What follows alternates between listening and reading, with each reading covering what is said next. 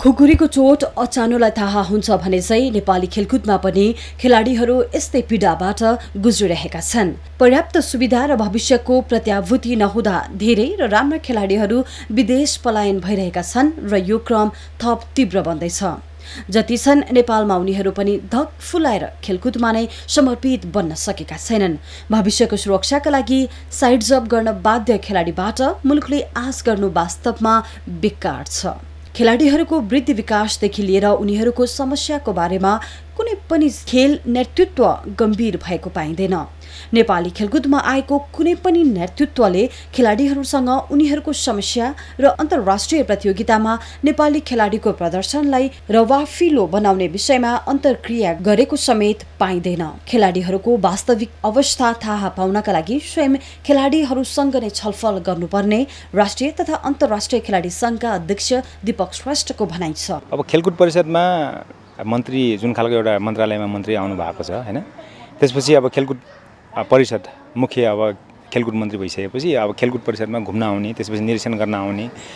जो पनि मन्त्रीहरू चाहिँ नि अब मन्त्री हुने बित्तिकै चाहिँ नि आएर चाहिँ नि यो निरीक्षण गर्ने अनि अनुगमन अनुगमन गर्ने कार्य त गर्दै आउनु भएको छ होइन? यहाँसम्म कि खेलकुद परिषदमा आएर यहाँका खेलकुद परिषदमा भएका लामा लामा घाँस फोहोर टोइलेटसम्म बधारेको कुराहरू हामीले स्पष्ट देखाएका छौँ। र त्यसले परिवर्तन के भयो त? भन्ने कुरा मेन इम्पोर्टेन्ट जस्तो मलाई लाग्छ। नदिएको होइन। नेपाली खेलाडीहरूले मुलुकको नाम दक्षिण एसियाली खेलकुद जस्ता क्षेत्रीय प्रतियोगितादेखि एसियाली खेलकुद एसियाली च्याम्पियनसिप ओलम्पिक हुँदै विश्व च्याम्पियनसिपसम्म चम्काइसकेका छन्। सुविधा र प्रोत्साहन दिए नेपाली खेलाडीहरूले मुलुकको नामका लागि पर्याप्त दिन सक्छन् भन्ने प्रमाणित भइसकेको छ। तर वास्तविक धरातलमा उभिएर हेर्ने हो भने अधिकांश खेलाडीहरू अहिले पनि हातमुख जोड्नका लागि नै सङ्घर्ष गर्नुपर्ने पीडादायी अवस्थामा रहेको पूर्व खेलाडी एवं सङ्घका अध्यक्ष श्रेष्ठको गुनासो छ। खेलाडीको सेवा सुविधा सम्बन्धमा। अब फलान ठाउँमा यस्तो भयो भने तिमीहरूलाई यो छ है भन्ने खालको एउटा चिज त हुनु पऱ्यो नि। एउटा प्रोत्साहित गर्ने खालको एउटा केही न केहीहरू प्याकेजहरू ल्याउनु सकेन खेलाडीको लागि भने खेलाडी के को लागि खेल्ने? आखिर खेलाडी खेल्छन्। खेलिरहेको बेलामा त अब अहिले केही छैन। उसले खेलिसकेपछि खेल जीवन सकिसकेपछि यहाँ के छ? होइन? केही पनि छैन।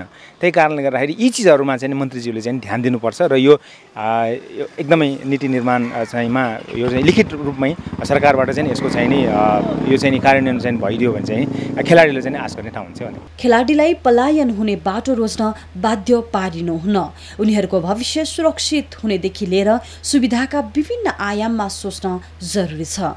खेलकुदले अहिले नयाँ नेतृत्व पाएको छ। नयाँ नेतृत्वले खेलाडीको हक र हित समग्र खेल खेलकुदको विकासमा खेलाडीले पार्न सक्ने प्रभावका बारेमा खुलेर बहस गर्न आवश्यक छ। न्युज ट्वेन्टी फोर टेलिभिजनका लागि क्यामेरा पर्सन अनिल ढुङ्गानाको साथमा टिभी जर्नलिस्ट प्रिया लक्ष्मी कार्कीको रिपोर्ट।